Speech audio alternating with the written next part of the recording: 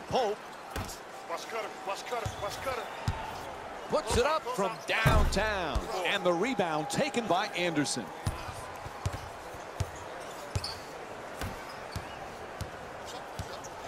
Anderson. Inside. And that's his seventh rebound of the game. To Caldwell Pope. Randle's looking to operate from down low. He curls, tries the lob. They tip it and get the turnover. To Paul. All the fake, now puts it up. Tries to bank it, won't go. You've got to protect the basket in this league. Good job defensively tonight, not allowing makes at the rim. To Harden. Coming through.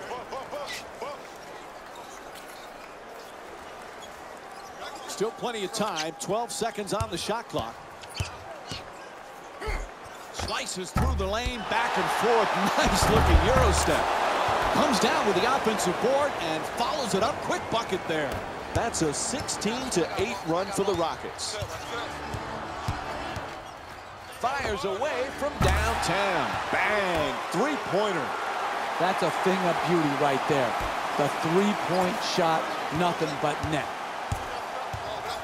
Houston's got to be disappointed with how this game turned out. Tough loss for them here today.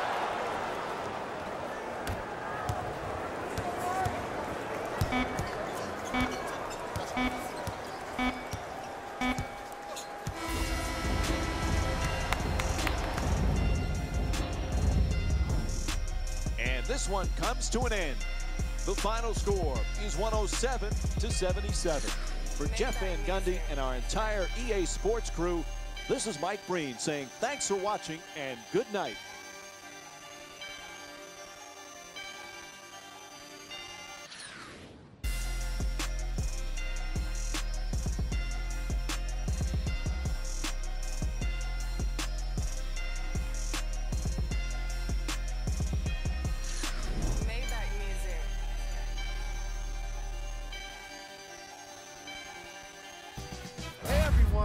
It's Jalen Rose, and it's time for the EA Sports post-game wrap-up.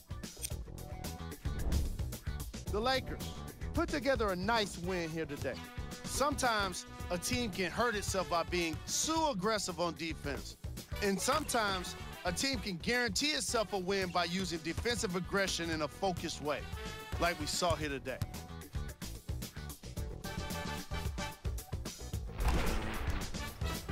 Here are the guys who put up the most points for the Los Angeles Lakers. The Rockets couldn't put it together to get the victory here today. I'm sure they can't help but feel frustrated with the result, but they can't let that feeling linger. Sooner than later, they need to start thinking about the next matchup.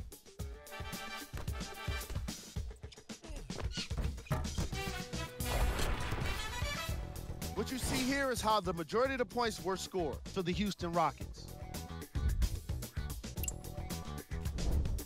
Game track. Defense. The Los Angeles Lakers put on the pressure defensively in this game. And in return, they put back some blocks and steals on the stat sheet.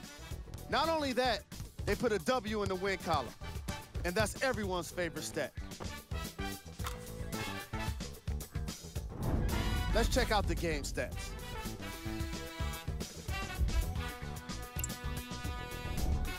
Player of the game.